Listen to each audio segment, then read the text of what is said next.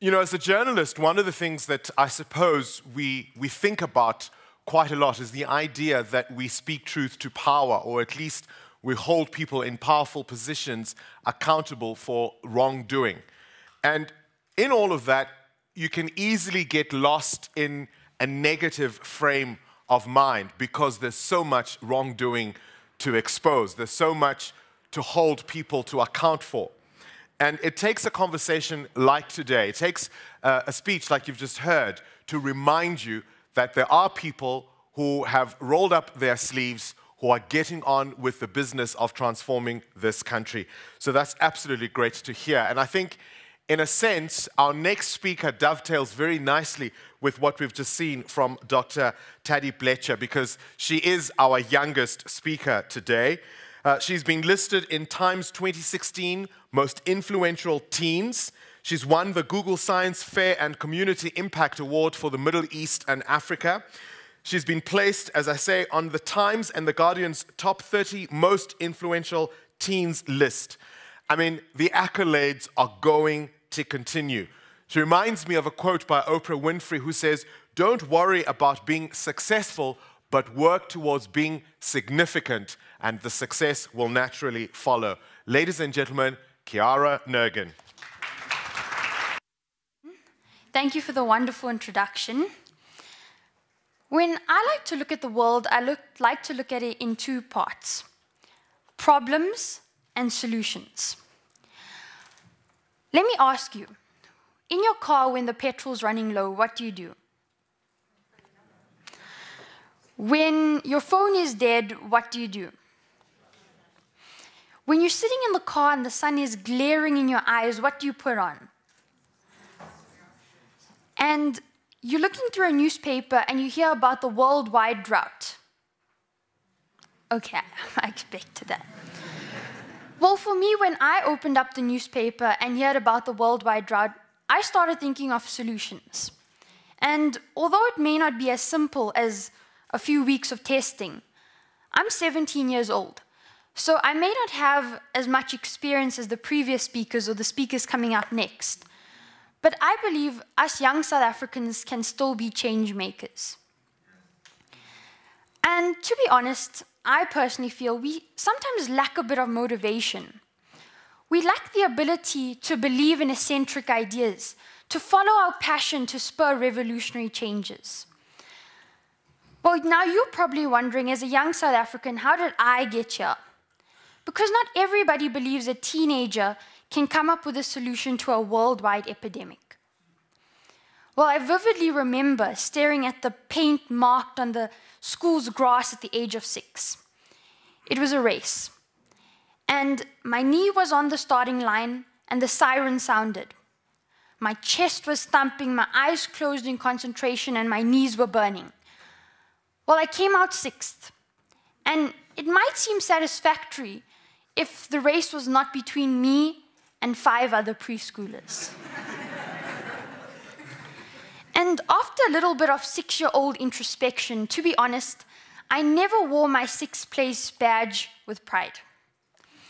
I'm the youngest in a family of six. And being the youngest of four siblings meant that I could very often conduct what I like to call primary research on what to do to be better than your brother or sister. I remember watching my sister in grade nine build a project on the 1943 Stalingrad War. And now, if I have to be completely honest, when my time came to do the exact same project, I added a bit more detail.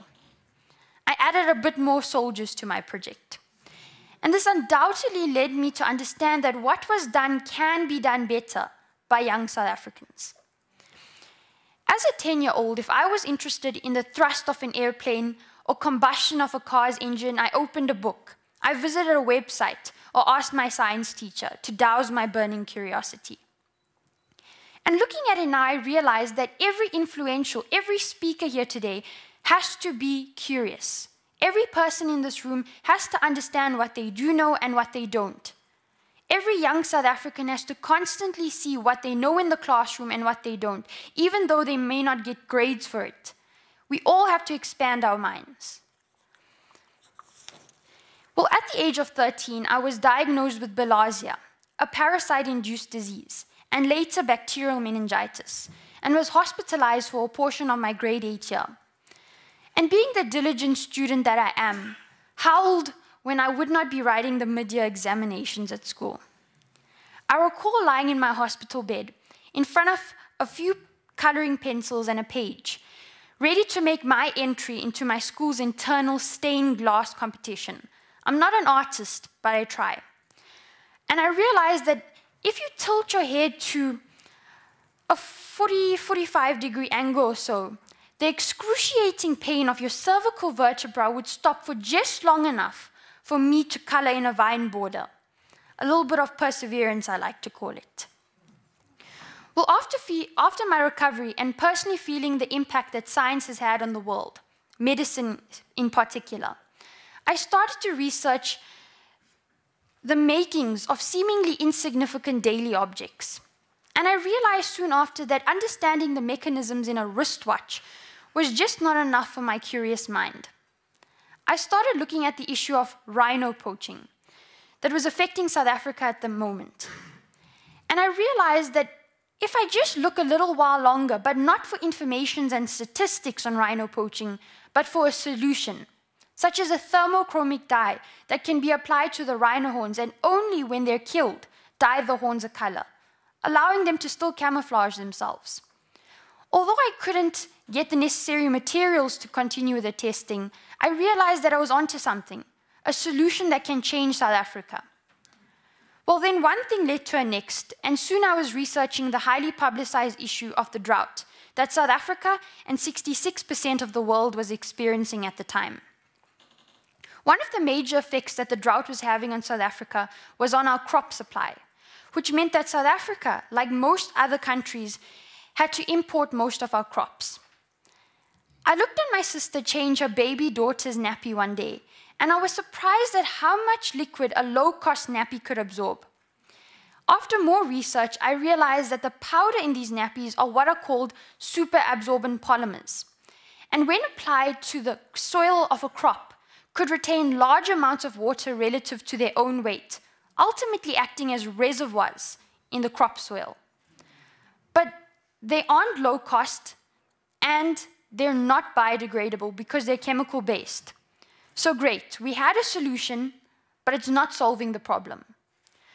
So I try to emulate the properties of commercial SAPs, but making it low cost and biodegradable. Well, I started to research polymer chains, chemical compositions, and I'm not going to get into the scientific detail. But I realized after rigorous months of testing in the garage and the kitchen that I could find the necessary materials in an orange peel because it had polysaccharide and pectin, what was next found in superabsorbent polymers. And it didn't work. For the first month, second month, third month, it still didn't work. But I tried at it.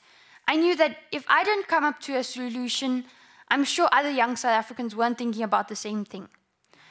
So I tried researching further processes, and through emulsion polymerization, realized that if you add the skin of an avocado, it could create a superabsorbent polymer. So I tested it, I experimented, and I researched. And eventually I realized that I'd come up with a product that retained more water, made the soil more moist and supported the growth of a taller crop than commercial SAPs, and ultimately would increase drought disaster areas' food security by 73%. So there was a problem, and I came up with a solution. So I entered the Google Science Fair in 2016 and was named the Community Impact Award winner for Middle East and Africa, and eventually won the overall Google Science Fair. And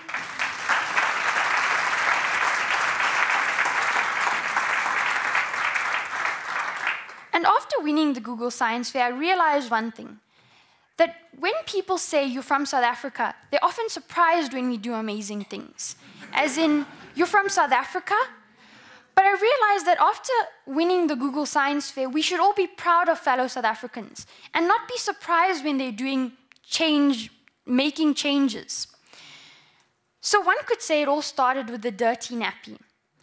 But I think there are many other moments that encourage me to believe that I, as a young female South African scientist, can make a difference. And I'm sure other young scientists don't have the exact moments that I do to recall.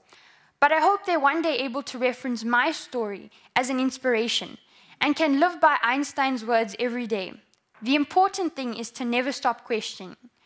Now, I know none, nobody in this room are the young scientists that I'm hoping to inspire, but I ask you all to think about your daily life and realize what can you make better. Oh, there's a jar. there. Thank you.